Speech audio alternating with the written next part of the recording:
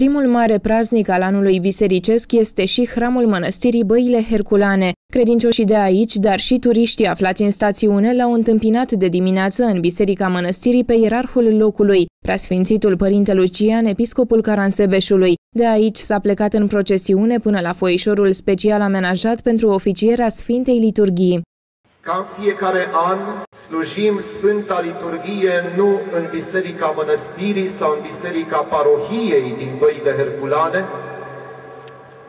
ci slujim Sfânta Liturghie în aceste altare de vară sau paraclise de vară improvizate în centrul orașului sau aici, în fața acestei troițe, aproape de Sfânta Mănăstire, astfel încât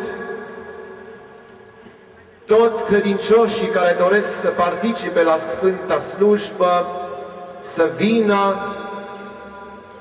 și să fie împreună și alături de noi, ascultând cu atenție Sfânta și Dumnezeiască Liturghie, pentru că în acest altar de vară, noi preoții și dumneavoastră credincioșii suntem mai aproape unii de alții, ca dumneavoastră să vedeți tot ceea ce se întâmplă în Sfânta Sfintelor.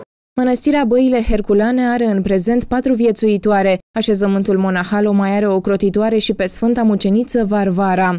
Aici, la mănăstirea de la Băile Herculane, a slujit preasfințitul părinte episcop Lucian în Caransembeșului, înconjurat de un ales sobor de preu și diaconi, dar și credincioși veniți aici la străvechea stațiune balneară, unde, iată, pe lângă vindecarea trupească, tratamentul trupesc, găsesc și alinare, mănăstire de aici fiind socotită un izvor al Siluamului, o scăldătoare a Vitezdei sau chiar și un izvor minunat din Vlaherne. De fiecare dată, onoarea cea mare a acestei localități, a Sfintei noastre mănăstiri și bucuria de plină a credincioșilor care au participat la Sfânta și Dumnezeiască Liturghie a fost prezența preasfințitului Părintelui nostru Episcop Lucian al Caransebeșului. Pe lângă sărbătoarea ce deschide și sărbătorile zilelor orașului Băile Herculane, Sărbătoarea aceasta este pe deplin bucuria de suflet a acestei sfinte mănăstiri. La slujbă au participat alături de credincioșii locului și de turiști și autoritățile locale. Răspunsurile liturgice au fost date de grupul psaltic Catarsis al Episcopiei Caransebeșului.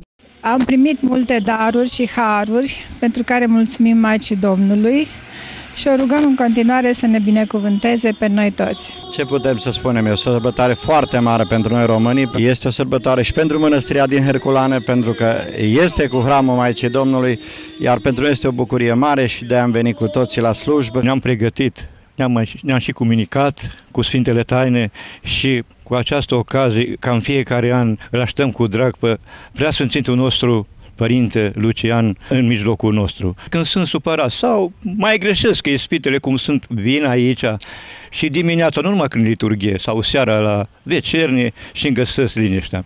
Mănăstirea Băile Herculane a fost inițial un așezământ monahal social. Sinodul Mitropolitan al Mitropoliei Banatului ridică așezământul la rang de mănăstire în anul 2007.